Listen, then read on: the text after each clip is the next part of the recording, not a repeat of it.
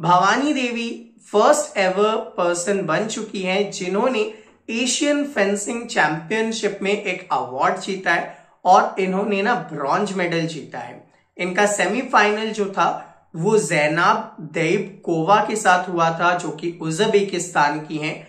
But वहाँ पे ये बहुत ही क्लोज फाइट से हार गई थी।